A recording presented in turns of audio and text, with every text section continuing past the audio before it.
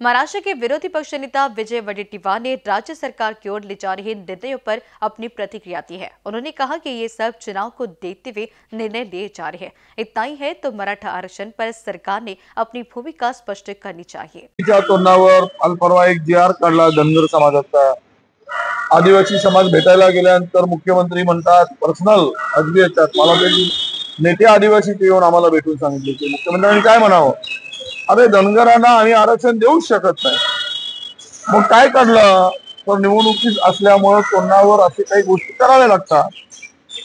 आता तेच चाललंय शिंदे समितीमध्ये की अधिक त्यामध्ये आरक्षणामध्ये ज्या पद्धतीनं मुदतवाढ दिली जात आहे आमचा निजामशाहीमधील नोंदीला विरोध नाही. पण मात्र तिकडे ओबीसीचं अहित होईल नुकसान होईल अशा प्रकारची कुठली भूमिका सरकारने स्वीकारू नये. मराठा समाजाला आरक्षण देण्यासंदर्भातली सरकारची भूमिका त्यांनी स्पष्ट करावी.